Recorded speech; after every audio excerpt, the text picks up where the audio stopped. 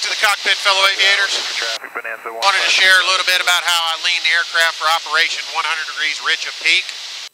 I've been in cruise flight 6,500 feet for about five minutes. I always like to let the temperature stabilize before you start changing the temperatures. You don't want to be there a cooling period or a heating period and then start changing things because that's going to give you an erroneous reading. Right now, I've got the mixture set at about 105 pounds per hour.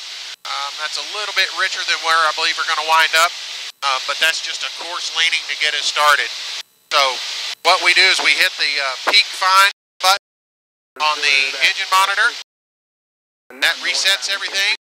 And now I'm going to start slowly bringing the mixture out.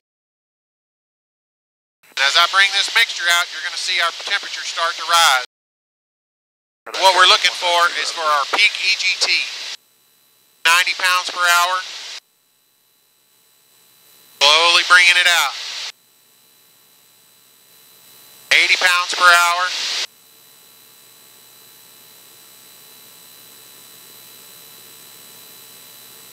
About 75 pounds per hour. There we go. We've peaked. Now we're going to enrich in the mixture. We're looking for 100 degrees on that number three cylinder.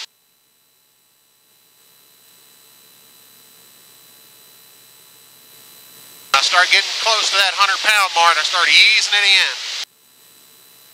Coming through 60 degrees, 70 degrees. Three miles straight west of your position. Slowing down a little bit, I'm going to give it a little more. Got that west. 80 degrees. Two, Bravo Zulu.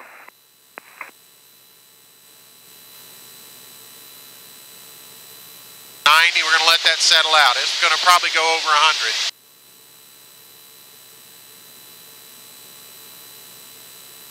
Looking to keep our cylinder head temperatures below 400. 100 degrees rich peak. 2140. That should put my hottest cylinder somewhere in the 370s. At number 5, 374. Normally my hottest cylinder. Approach 124.0. And what I'll do from here is I'll just fine tune it. So I'm a little bit rich, about 13 degrees rich right now. And I'll probably let that stabilize for about five minutes. And if I need to ease it back, I'll just ease it back just a little bit to make small adjustments. I'm running about half cowl flaps open. Got 186 degrees on the oil temperature. Just under 100 pounds per hour. 28 inches of manifold pressure, 2400 RPM. That's how we lean it for cruise flight. You guys put a comment down below. Tell me how you operate your engine, especially if you have a turbocharged engine or a turbo 210.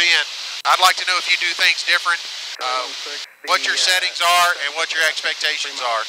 I'm always looking to, to find a more efficient and a better way to operate this airplane. Uh, by no means claim to be an expert, and I'm always willing to learn. So, if you have something to add, let's let's talk about it. I'd like to hear it.